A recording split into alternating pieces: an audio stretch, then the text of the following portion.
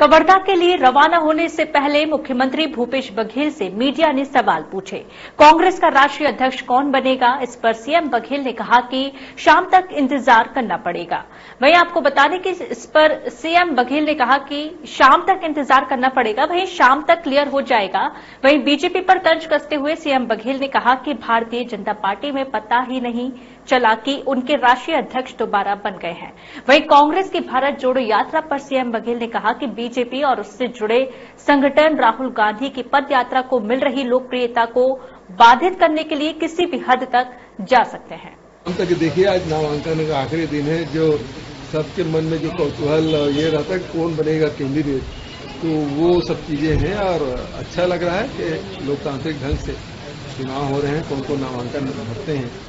ये अभी शाम तक के क्लियर हो जाएगा, उसके बाद फिर स्कूटनी होगी और उसके बाद फिर कौन मैदान में बसते हैं। वो देखने की बात होगी।